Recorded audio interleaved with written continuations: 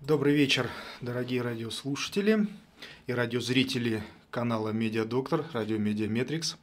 На часах 20.01, и это значит, что в эфире передача «Травматология с доктором Фарба», и я доктор Фарба, травматолог Фарба Леонид Яковлевич. И сегодня, преддверии Нового года, можно и так сказать, у нас будет очень интересная тема. А почему в преддверии Нового года мы чуть попозже расскажем.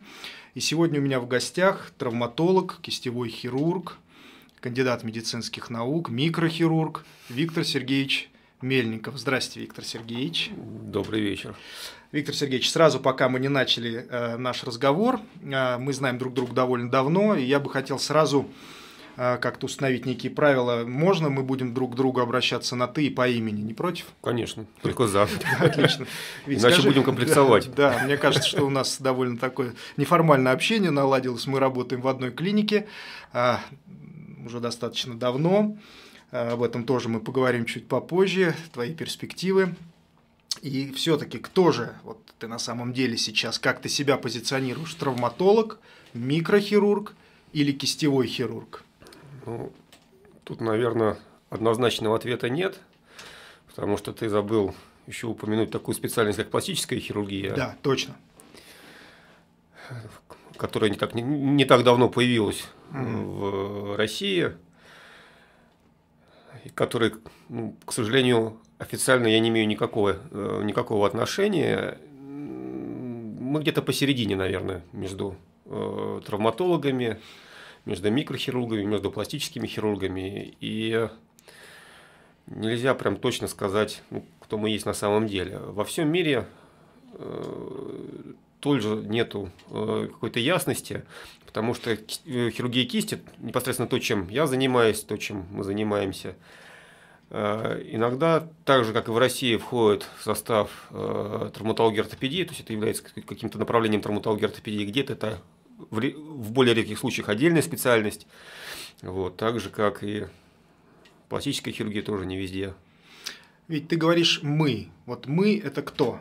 Это те, кто занимается хирургией кисти в России? Это есть, наверное, опять же, нету э, официального статуса, официального сказать, направления, как хирургия кисти. Есть отделения, которые специализируются конкретно на хирургии кисти, Мы да? говорим об этом, конечно. Да. Ну, где работают обычные травматологи, ортопеды или общие хирурги, или пластические хирурги. Я имею в виду, мы это, наверное, достаточно небольшое количество людей, которые при разговоре о патологии верхней конечности у этих людей загораются глаза, э, появляется какой-то живой интерес, это right. некая такая э, субспециальность, такое да. профессиональное сообщество. Да. Я думаю, что ты знаешь этих людей практически всех по именам. Да. Ты с ними знаком, и вы обсуждаете какие-то случаи ну, свои интересные клинические. Насколько я себе представляю, по таким российским конгрессам кистевой группы, которые проводятся раз в два года, ну, доста... приблизительное количество активных членов этого общества где-то 200 человек против... На всю Россию. На всю Россию. Против 2000 в Америке. Ну, про европейское вообще молчать, ну, не хотелось бы говорить, потому что там залы всегда битком и... Вить, скажи мне, пожалуйста, вот э, ты начинал как травматолог, и как это все, или не начинал как травматолог, как становится микрохирургом, кистевым хирургом, немного о своем пути в профессии, об учителях? Ну, у меня бабушка, дай бог ей здоровья, в Киеве, которая травматолог-ортопед, который 90 с лишним лет, она только, наверное, последние лет 5 не работает травматологом-ортопедом. И как-то вот кто-то хотел в детстве быть космонавтом, кто-то испытателем, а я вот с детства, с 5-7 лет точно, точно знал, что я буду травматологом-ортопедом. И я совершенно четко э, понимал, в какой институт я буду поступать. Ну, я не имею в виду первый, второй или третий медицинский, я точно знал, что это будет медицинский институт. Угу никаких сомнений никогда не возникало. То есть это всегда были биологические олимпиады, это всегда были книги по анатомии э, с детства. То есть путь был понятен. Да, от головы до пят была такая первая книжка э, по, по анатомии. Путь был предельно понятен. понятен. Потом э, на курсе, наверное, третьем института, даже на конец второго, начало третьего, в жизни произошли определенные перемены. И мне посчастливилось, наверное, э, начать жить в общежитии второго медицинского института. Так. С учетом того, что я, конечно, москвич коренной, но так, так сложились обстоятельства. Ну и там из последних сил старые, та- старшие товарищи сказали, ну, пойдем мы тебе что покажем. И привели меня в отделение хирургии кисти 4 городской больницы, э, которая до сих пор самое большое, самое активное по количеству пролеченных больных, в Москве уж точно. Вот. Ну и с этого все дело началось. То есть с третьего курса начались дежурства, Хирургии кисти. именно в хирургии кисти. Э, С третьего курса каникулы проходили в этом отделении, зимние, летние. Вот. Ну, дальше больше была ординатура однозначно по травматологии ортопедии. Мгм. И уже к тому моменту, к моменту начала моей ординатуры, я точно знал, что я буду работать именно в этом отделении. Я в этом никогда не сомневался. И, собственно, попав в ординатуру туда, и я практически больше никуда не уходил. И с микрохирургией другая история. Э, В четвертой градской микрохирургии нету. Никогда не было. Но есть, э, даже как сказать, есть. Наверное, это неправильно сказать. Неправильно так говорить. Э, и была большая потребность именно в этом, которую я, наверное, пока головой не понимал, но как-то чувствовал, что без этого никуда. Эта потребность, э, точнее понимание этой потребности созрело, когда я впервые поехал на Европейский конгресс, я помню 2009 год, Познань, э, Польша, и посмотрел, э, что люди делают. А ехал, ехал я туда с ощущением того, что, ребята, я из самого крупного отделения в Москве, которое там и в России, которое занимается хирургией кисти. Одного из самых крупных, э, одного из самых древних, с какой-то историей, где э, работают люди, которых все знают. Я ехал с таким настроем, что мне нового еще покажут. Показали, объяснили. Ты понял, зона развития Да. колоссальная. Да, я понял пропасть. Мгм. Мгм. И микрохирургия была одной из этой пропастью. И дальше больше. Э, Были курсы в 71-й больнице по микрохирургии, Мгм. Но в силу того потока больных, той рутинной ра- работы, которая была в 4 градской, это было больше, наверное, вопреки, нежели во благо, э, за, за что я очень часто и периодически получал и от начальства, и от коллег своих. Это стимулировало Конечно, развитие. конечно. Иначе? Потом была клиника МОЕ, совершенно... с- Хороший скачок. Ну, была стажировка, да. Э, К сожалению, э, как и большинство самых э, хороших стажировок, она никак не была связана с моими работодателями, да, и Ну, скажи прямо, ты поехал за свой счет Однозначно, туда. да. Ну, эта история понятна. Она и мне близка. Это На наша месяц- реальность, к сожалению. Да, на месяц я уехал туда, и на какой-то из операций я попал к э, профессору Бишпу и профессору Шину, два близких друга, которые работают и оперируют вместе. И они увидели огонек в моих глазах, Мгм. Спросили, тебе что, нравится микрохирургия? Я говорю, да, нравится. И я Мгм. как-то вот в, в- двух словах объяснил, что я, кто я, чем занимаюсь, и роль, минимальная роль микрохирургии в моей жизни. Они говорят, слушай, а у нас на базе э, нашей клиники МОЕ есть курсы по микрохирургии. Хочешь? Я говорю, конечно, хочу. Вот. Но я так был немного опрометчив, потому что, придя вечером домой, уже после того, как мне было назначено время и день, куда я должен явиться с вещами Мгм. на эти курсы, я посмотрел стоимость этих курсов, а это Ага. было 2000 долларов с копейками, с небольшими, за недельный курс на крысах, там, в специальной лаборатории. Но отдать должное, э, с меня не взяли ни копейки. Вот. То есть люди увидели огонек, они сказали, хочешь? Я сказал, да, хочу. И что особо было интересно, курсантов на тот период не было. Я был один курсант, и со мной сидел, фактически персонально занимался их тренер Билл Эдинг, очень Мгм. такой интересный американец. Вот. Ну, это прям его работа. Он сидит со студентами, Мгм. показывает, э, отвечает за крыс лабораторных, вот, за аппаратуру. То есть твой путь в микрохирургии начался с клиники МИО. Не самый слабый старт, наверное, я так считаю. Как ты? Нет. э, Путь, наверное, были уже успешные. А, э, то есть п- были Да, истории. реплантации в четвертой градской под бинокулярными лупами, за что, если мои, мои товарищи об этом узнают, наверное, да, тут тоже по, по голове не погладят. Но вот именно в плановую микрохирургию, в понимание того, что я это могу делать, и то, что я точно это буду делать, пришло именно в клинике Майо и благодаря этим курсам.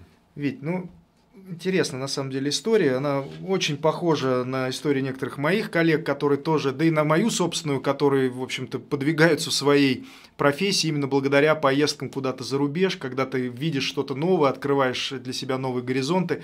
Знаешь, я на самом деле планировал, да и планирую сейчас, вот, э, построить нашу передачу, так разделив ее на две неравные, наверное, части. Это хирургия кисти как травма и как заболевание. И вот я бы хотел наш, наш разговор о травмах кисти начать вот с той вопиющей истории, которая сейчас всколыхнула масс-медиа, если ты помнишь, ну наверняка ты это слышал, эту историю и читал, и все это сейчас очень громко звучит, а, о том, как э, пьяный муж где-то в Подмосковье вывез э, свою супругу в лес и там, приревновав или что-то такое, изрубил руки на куски, и вот ее каким-то образом доставили в московскую клинику. Мне кажется, э, что мы сейчас должны рассказать эту историю в эфире, без, не давая никаких оценок юридических, это не наше дело, но зная выход этой истории, мне кажется, необходимо э, рассказать о коллегах, о том, что они сделали, насколько это было серьезная работа, тяжелая. Вот прокомментируй эту историю, она же тебе знакома. Ну, да, я в курсе этой ситуации, я в курсе э, тех проблем, которые были. Э, во-первых, это очень, наверное, хорошее стечение обстоятельств, Э, да уж. что все более-менее кончилось так, как оно кончилось. Не на уровне э, районной больницы, где бы сделали, а там сделали две культи на предплечье, правую кисть она была... То есть кисти были отрублены? Да, значит, левая кисть была отрублена полностью, правая кисть была не просто, э, она была изрублена, у нас это называется разрушение кисти. Ну да. То есть, когда уже э, вопрос о восстановлении сегментов не ведется. Угу. Вот. И надо отдать должное, наверное, даже тем людям сначала, тем людям, которые оказались э, на э, первой границе. Это Серпухов? Это, ну, по-моему, по да, Серпухов. Областная да. больница, люди в области, не, боль, не областная, да, которые, центральная. Да, которые связались с отделением микрохирургии 71-й больницы угу. и организовали э, транспортировку пациентки туда. Отдельно хотелось, наверное, э, выразить благодарность отдельную, насколько я понимаю, сотрудникам милиции, которые э, уже после этого случившегося, когда встал вопрос о том, что левая кисть утеряна, собрались... В прямом смысле утеряна. Да, ее не привезли с пациенткой. То есть ее нет. Угу. Да, собрались, поехали на место преступления, нашли эту кисть и привезли э, эту кисть вместе с э, пациенткой в 71-ю больницу.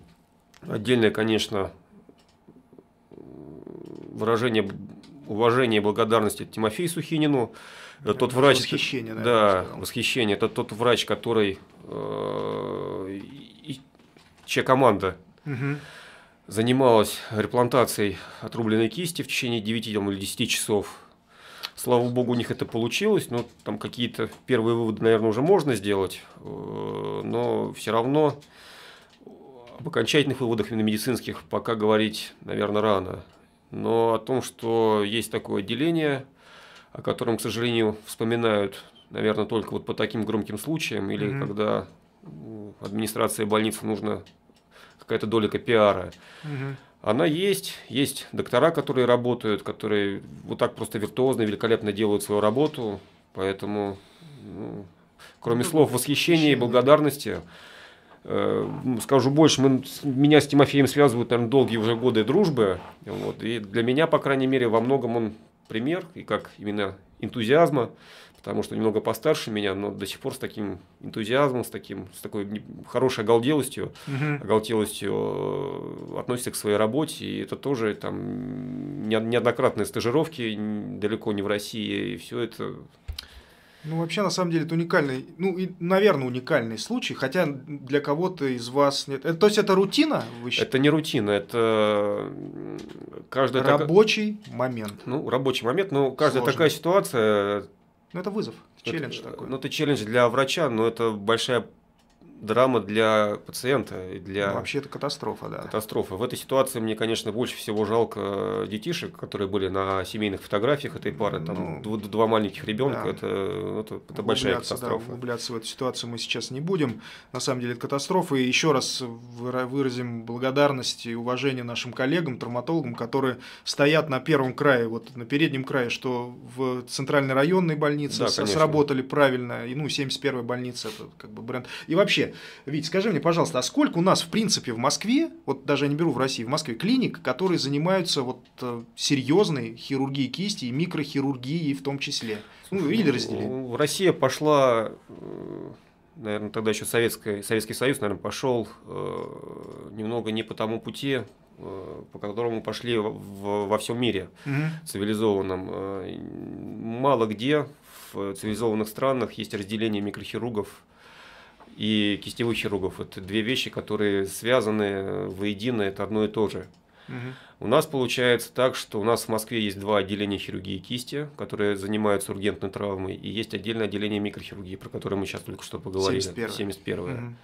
которое по факту занимается той же самой хирургией кисти, именно ургентной. Угу. В том, но в том числе и реплантация, это прям их хлеб, это то, что они умеют делать виртуозно, филигранно, и то, что мы видели в этой ситуации. А еще какие две клиники ты говоришь? Ну, вот четвертая, Четверка, 29 да? Есть еще плановое 29 отделение в Центральном институте травматологии, травматологии и ортопедии. Ну там заболевания, последствия, да. или тоже остро везут туда? Не готов ответить. Я думаю, ну, да. что там э, это, конечно, в первую очередь плановое отделение, но какие-то по согласованию единичные ну, варианты понятно. поступления до бургента, я думаю, возможны. А скорая помощь, она в курсе, да, куда вести отрезанный конечно. палец там или что-то из этой ну, серии? Скорая помощь сама не принимает решение, куда ну, вести. Ну, центропункт конечно, дает конечно. место. И этого достаточно вообще, как ты считаешь? Вот количество пациентов, которые, предполагаешь, проходят в Москве, ну, понимая, работая в четверке сейчас, предполагая, сколько таких больных, достаточной мощности вот такие кистевые для того, чтобы Москву охватить с, его, с ее проблемами? Э, тут э, проблема немного шире и глубже. Э, Все зависит от того, как, какую, какое качество помощи мы хотим людям оказывать. Хорошую хотим оказывать. Помощь. Хорошую. Тогда как хорош... декларируется. Да, хорошая помощь должна оказываться в хороших условиях раз угу. и хорошими врачами два. Угу. И то, и другое стоит очень больших денег. И ты сам хорошо понимаешь, что после 15-16 операций э, человек, э, наверное, будет не сильно способен оказывать эту квалифицированную мягко помощь. Говоря, мягко да? говоря, да. Мы идем по пути сокращения коек, сокращению врачебных ставок. Ну, то есть не туда мы идем. Хотелось, хотелось бы, конечно, э, больше, но имеем тот минимум, который имеем. Ну, сейчас да, я с тобой полностью согласен. Проблемы с коечным фондом, они касаются и частной такой вот сферы, как хирургия кисти, и большой травматологии. Мы это на себе испытываем каждый день. Поток больных довольно большой.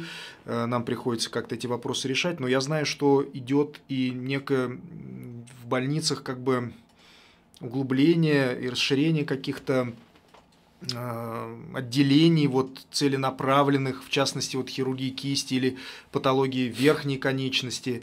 Сейчас э, ну, мы можем как бы объявить, сейчас, в общем-то, эфир большой, и вот то, что мы с тобой работали вместе и работаем еще там недельку вместе в 13-й городской клинической больнице. Кстати, спасибо тебе большое за совместный труд, нам было очень здорово с тобой работать. Взаимно. Вот, это, да, это правда. Но давай уже объявим всем, что ты переходишь на работу в другую больницу, больницу, в отличную больницу, в 29-ю городскую клиническую, и вот там как раз есть вот то самое отделение, которое громко названо, э, как оно названо, центр ну, там названо не отделение, там есть... То есть это служба? Это, это пока, наверное, не служба, это просто три отделения, которые, которых объединяет, как мне видится, воля главного врача. Mm-hmm. Ну, это гнойная говорить. хирургия, отделение хирургии кисти, которое в 29-ю попало из 6-й городской больницы. Mm-hmm и отделение травматологии, которое тоже занимается патологией верхней конечности, но в более в высокой части То есть чуть-чуть выше кистевой, кистевой сустав тоже, конечно, я знаю, замечательным занимается остеосинтезами. Остеосинтезами лучевой кости. Лучевой да. кости, скажем да, так, да. да. И вот ты приходишь туда, цель твоего туда прихода, ты для себя как видишь, как видит это главный врач, оставим главному врачу, что ты видишь для себя, какая твоя зона развития в этой клинике? Мне интересны два направления. Это, безусловно, микрохирургия, угу. благодаря которой, собственно, я и попал в 29-ю больницу. Точнее, благодаря которой меня и пригласили туда. Угу. Это, безусловно, артроскопия э, кистевого угу. сустава, которая, к сожалению, пока в начальном, начальном этапе, но она представлена в 29-й больнице, чего больше нету ни в одной городской больнице города Москвы. Угу. Плюс э, это отделение с историей, которые знают, там есть совершенно большой поток, очень большой поток больных, э, на которым можно предложить что-то новое, то, что было недоступно до этого в, именно в 29-й больнице. Угу. Вот, потому что плановая микрохирургия на кисти в Москве насколько я понимаю, 71-я больница тоже э, есть энтузиасты такие, как Тимофей Сухинин, такие, как Георгий Назарян. Угу.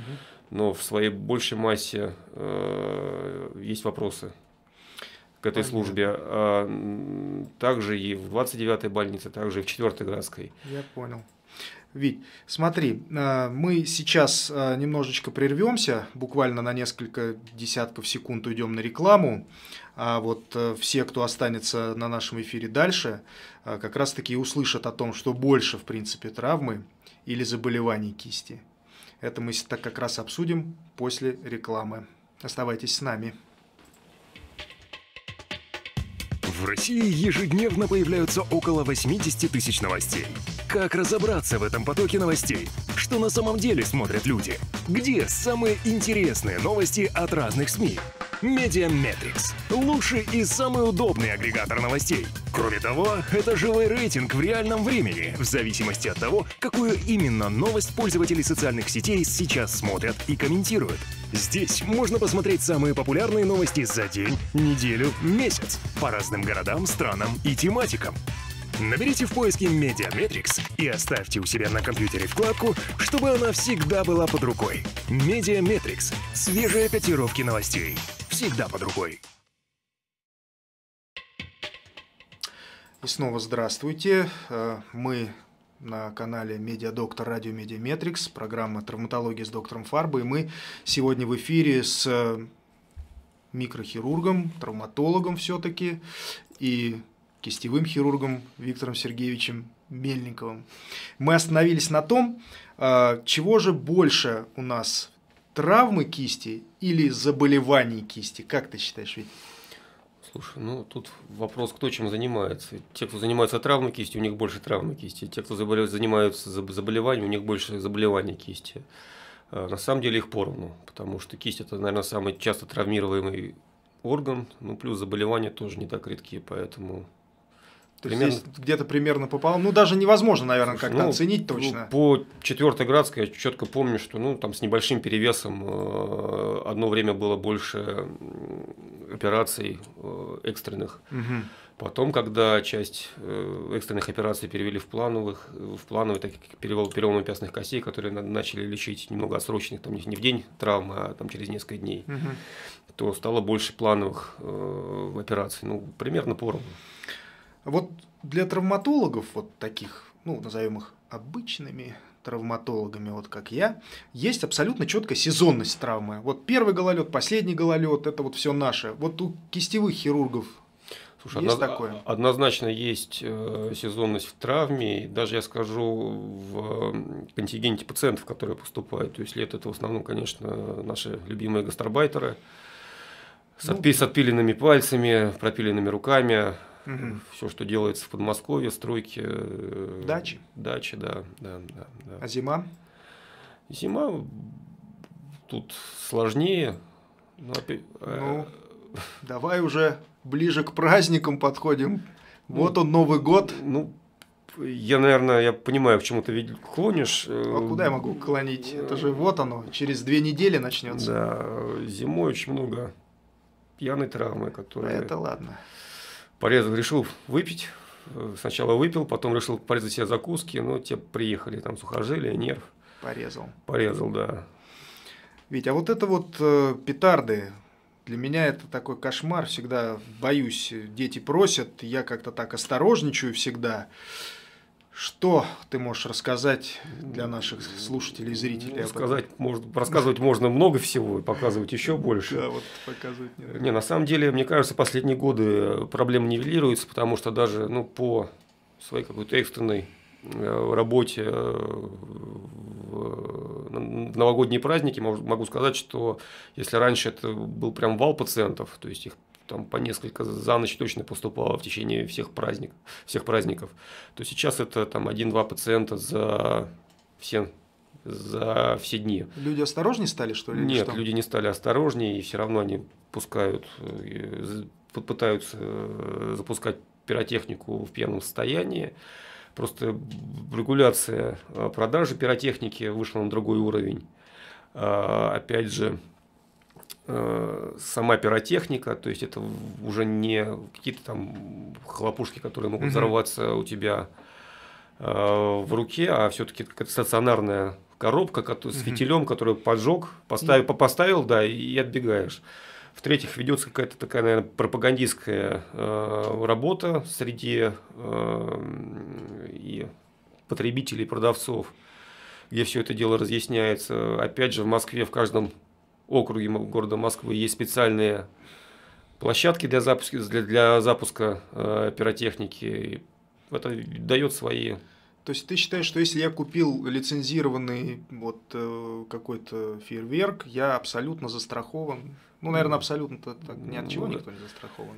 И, если ты еще при этом трезвый, то, скорее всего, да, и с головой, потому что пьяным этого делать нельзя однозначно. То есть сейчас мы говорим правила использования пиротехники от кистевого хирурга доктора Мельникова. Первое – трезвым. Второе – в специально отведенном месте. месте. Третье – лицензированное. Лицензированное. Да. И тогда мы не встретимся. Возможно, но это, это минимизирует. минимизирует шансы на, да, наши шансы встретиться. Хорошо. Ну вот если, не дай бог, что-то случилось, вот на самом деле взорвался этот пиропатрон в руке, ну там оторвал, не оторвал. Вот особо опасно, это когда у тебя в руке зажат пиропатрон или когда ты его бросаешь, вот эта история. Слушай, ну это все зависит от силы заряда, угу. потому что э, если заряд не сильно большой, то все, не знаю, все в детстве, не все в детстве какие-то э, небольшие корсары поджигали, зажимали mm-hmm. в руки. Да, там, чем сильнее сожмешь, тем меньше тебе будет больно. Mm-hmm. Если э, заряд э, большой мощности, то чем сильнее ты, ну, конечно, уйдет точно первый палец.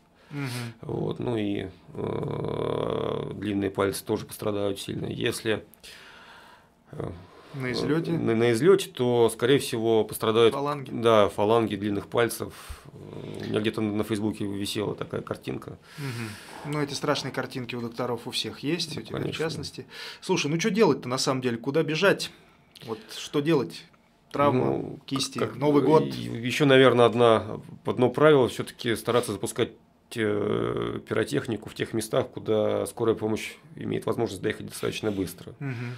Вот. И если мы говорим про область, то, конечно, это в ЦРБ для оказания первой помощи, да, но потом по возможности, если травма достаточно тяжелая, все-таки стараться попасть в специализированный стационар. Если это произошло, не дай бог, в Москве, то, опять же, 4 градская, 29 и 71 больница, где есть специалисты, которые занимаются хирургией кисти. А вот это залить йодом, вот эти истории давайте антисептиков. Вот, Нет. Пожалуйста, э, мнение. Обложить стерильными салфетками, забинтовать угу. и обложить холодом, причем не льдом, а снег тающий. Ну, снег в пакет, а пакет. уже да, уже пакет к руке. Ну, если на самом деле оторвало палец, да, такая страшная история, и вот э, люди рядом, они что должны с этим пальцем сделать? Куда его положить? Ну, на самом деле, учитывая механизм травмы, наверное, уже мало что можно будет сделать, угу. потому что те тот объем разрушения, который произошел, наверное, не будет да, да, э, давать возможность приплантировать палец. Но тем не менее, это все равно решает не э, больной, это не решает не э, скорая помощь, которая приезжает на место, да, это решает тот врач, который владеет методикой. И поэтому ему по-хорошему, конечно, надо взглянуть на этот палец. Лучше привести с собой все-таки конечно, уже- расчлененный сегмент Да. какой-то. Ну, тоже его в пакет, в отдельный, да, и уже пакет, обложить э, холодом. Ясно. А, профилактика столбняка при кистевой травме Однозначно. однозначно. Даже не обсуждается, это нужно Ну, делать. Ну, там есть свои схемы, врачи Конечно, это знают. Да. Потому что некоторые товарищи, боясь каких-то аллергических реакций, сразу отказываются от этого. Ну, Ну, Лучше Да, и мы, мы с врачей. тобой все-таки сейчас такие взрослые врачи, да, мы Да. лечим взрослых людей. Не говорили про отделение микрохирургии Филатовской больницы, которая занимается Да, те- тем же самым дети. для детей, да. вот Это оно что. Филатовская больница, отделение микрохирургии. Мгм. Замечательные доктора, которые спасают просто детей. Это, да, спасибо, что отметил, потому что ребята достойны уважения, это точно. А, Абсолютно точно, я знаю, роль реабилитации – это колоссальнейший момент в лечении любой патологии Это, это, это, это больная тема. э, Вот кисть реабилитация. Совершенно. Во всем мире существует такая специальность, не только hand surgery, но и hand therapy. Мгм. которые занимаются и консервативным лечением каких-то э, заболеваний, и в том числе и реабилитацией. Там есть эрготерапевты, такие Мгм. странные люди, про которых в России мало кто слышал. Мгм. Вот. И, к сожалению, в Москве мы не имеем людей, которые, которых можно назвать hand-терапист или эрготерапевт, Мгм. которые специализировались бы на реабилитации, на лечении. Там очень масс- много нюансов. Конечно, это отдельная специальность. Вот эти вот э, штучки, которые ты там делаешь своим пациентам, я иногда захожу в перевязочную, вижу, как ты там что-то такое У нас, это, шаманишь. ле- у нас это легло на плечи докторов. В, в Санкт-Петербурге другая ситуация. Там есть ребята, такие подвижники этого дела, как один из них Коля Карпинский назвал, дауншифтеры из травматологии, ортопедии. Да, которые ушли э, в хантерапи. Ну, они замечательные специалисты, доктора. Да, То есть да. это не дауншифтеры, это настоящие Да, специалисты, которые да. работают в связке со своими Однозначно. хирургами. Им тоже надо отдать должное. А, остеопаты. Такая штука интересная. Вот мы с тобой э, с позиции остеопатов, а лопаты такие прожженные в гомеопатию не верим, в остеопатии сомнений, не, не понимаем, работает или нет. В кистевой реабилитации, как минимум.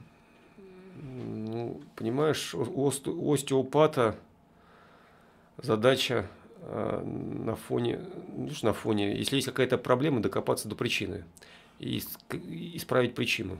Мгм. С травмой кисти, с заболеванием кисти, ты эту причину не исправишь с помощью остеопатии, поэтому остеопатия не будет работать. Так.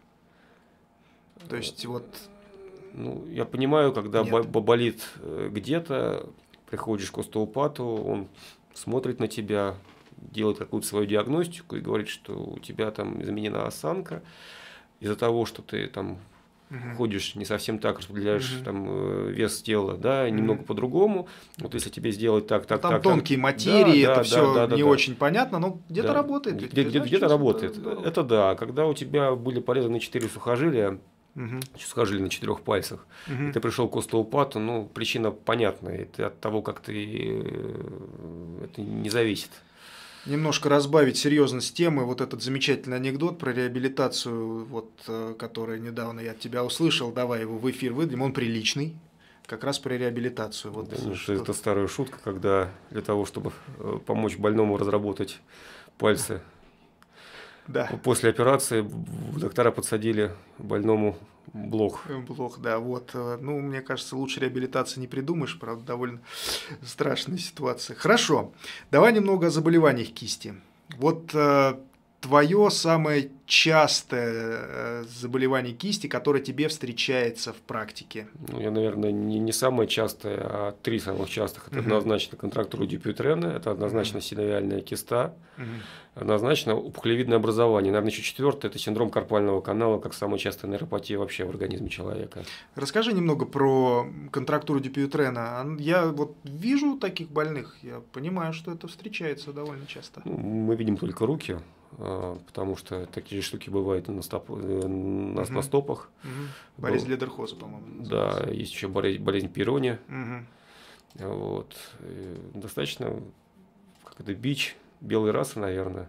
Европе... ну, Европеоидный, да? европеоидный, да? То есть это на самом деле четко коррелирует э, с... Есть прям эндемические э, места, в, по-моему, где-то, в Норвегии, э, какие-то какие вот малочисленные народности, у которых э, в разы прям выше встречаемость э, контрактур дюпютрена. В чем она проявляется? Расскажи, пожалуйста, нашей аудитории. Вот просто. Это ру- рубцовая перестройка ладонного апоневроза, которая приводит к формированию сгибательной контрактуры пальцев. Мгм. Можно сказать, что у негров, э, у негру... даже, наверное, не- неправильно Будем говорить. политкорректны. Да, будем корректны. У людей негроидной расы Вот. она встречается в единичных случаях, то есть это не, Мгм. не характерно для наших друзей. Ну да. Друзей. Когда нужно обратить внимание человеку на изменение своей ладони? Вот что может запод... вот как бы на что нужно обратить внимание человеку, чтобы обратиться к специалисту э, по поводу вот начинающейся контрактуры Ну, дебютрена? я со стороны э, специалистов, которые все-таки лечат это оперативно. Так. э, То есть ты ну, видишь уже прям такие необратимые да, изменения? да. И вообще это обратимо или нет? Нет, это, Это необратимо. скорее всего, можно замедлить развитие. Э, Значит, я уже обращаю, на, не, не обращаю внимания, ко мне приходят люди, у которых уже есть сформированные тяжи, Мгм. да, то есть есть субстрат, который можно оперировать. Опять же, существуют методики, э, скаж- скажем, малоинвазивные, Мгм. э, с помощью э, называется игольная ап- апоневротомия, когда это с помощью иголки рассекается. Но такие методы дают э, достаточно высокий э, уровень рецидивов этого Мгм. заболевания, потому что это просто устраняет механически контрактуру, не, Ну, не- не удаляется тяжь, да, и это все возвращается обратно очень часто. Все игольная апоневротомия можно сочетать с введением коллагеназа. Мгм. К сожалению, То есть фермент, который должен немного... да, ко- ко- который размягчить да, м, не, не то, что размягчает, он разрушает этот Разрушает. тяж. Он разрушает этот тяж. Но опять же, э, методики, э, по которым работают э, за рубежом, в России недоступны в силу того, что тот же Ксиофлекс или Ксиопекс, который, по-моему, единственный препарат, лицензированный для лечения контрактуры дюпютренной болезни лидерхоза, в России не зарегистрирован. То есть мы Ну, не его, не- да, его нет у нас на рынке. Ну и стоимость одной инъекции там порядка 700-800 евро. Понятно. А твоя методика, которой ты работаешь, это, которой ты работаешь, это открытая или нет? Как ты работаешь? на Да, мы открываем, удаляем, снова зашиваем. Да. То есть это апо- апоневроэктомия. Э, Чистые ли рецидивы после вот такой? Бывают, Бывает. безусловно, без- безусловно, бывают. То есть, ну, если, если мы говорим, что берем пятилетний период выживаемости, да, а наблюдений, Наблюдений. наблюдений, да, то при игольной апо- апоневротомии э, 70-90% Мгм. рецидивов в той или иной- степени, то у, кстати, э, у открытых операций и в сравнении с э, введением э, коллагеназа, того самого фермента, э, количество рецидивов примерно сопоставимо. Ведь вот э, у нас осталось где-то порядка четырех минут на разговор. Я традиционно всегда прошу своих гостей э, рассказать какой-нибудь интересный клинический случай вот из своей практики. Э, что тебе запомнилось? Ну, их много на самом деле, но вот что-нибудь такое новогоднее, что ли? М, Новогодние. Не обязательно новогоднее. Какой-нибудь случай, который тебе запомнился. У нас Он не обязательно недавний, но можно любой. все практически случаи, они связаны с какой-то трагедией для человека, поэтому Без имен. Нет, это, случай. это понятно, что бе- без имен э, даже наверное, теряюсь. Но из А послед- я, я вот помню, ты рассказывал историю, когда кто-то резал салат и потом мыл. Вот, вот, А, вот это, это кстати, можно... кстати, наш, на- наш коллега, да, Вот-вот. э, врач ре- анестезиолог, он не реаниматолог, То анестезиолог есть он мыл на дежурстве, прям вот на работе, да, Мгм. решили, э, кстати, перед Новым годом ну, это я было. же говорю, новогодняя история. Да. порезать салата, нарезать салат, пошел помыть нож, Мгм. мыл нож, подошла сестра, которая ему помогала. И в то время, пока он мыл нож, она взяла этот нож и вытащила его из его рук. И Кончилось, да, четыре пальца, Четыре поврежденных сухожилия. И прям там же в операционной вы его и взяли прямо под Не, ну, он приехал уже из своей больницы А. к нам. Вот. Ну, то есть человек за- в ближайшие полгода вы- Выпал вы- профессии. вы- выпал из профессии однозначно. И Да, история новогодняя, но, к сожалению, грустная. Поэтому мы, конечно, надеемся, что наши слушатели не попадут в такие истории, а будут очень аккуратны.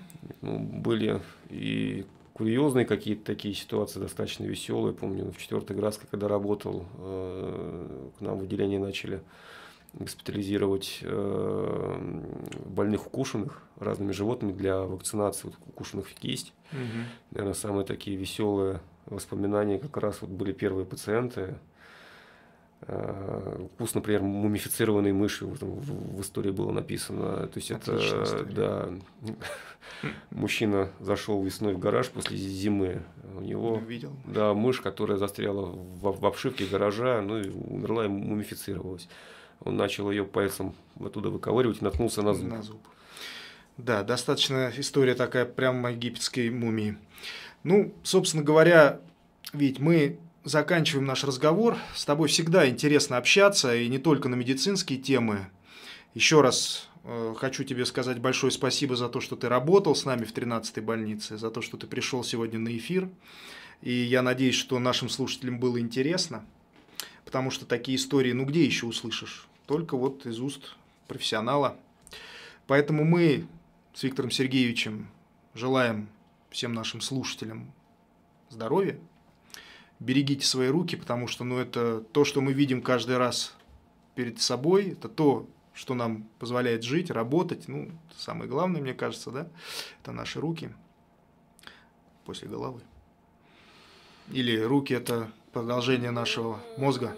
Ну, кисть это видимая часть мозга, да. Да. Кто сказал? Кто сказал? Кто сказал? А я и не помню, кто это сказал. Но что-то по этому поводу точно говорил Фридрих Энгельс. Нет, это сказал Эммануил Кант. Кант, и ну, есть большое, большое мнение, что все-таки, ну, это не мнение, это уже наблюдение, пластичность мозга, она Напрямую коррелирует с коррелирует да, руками. с кистью. И кисть это тот орган, который э, доказано занимает наибольшую площадь в коре головного мозга. Вот на этой ноте мы и завершаем наш эфир. А увидимся в следующий раз 27 декабря поговорим о заболеваниях суставов. Спасибо, Вить.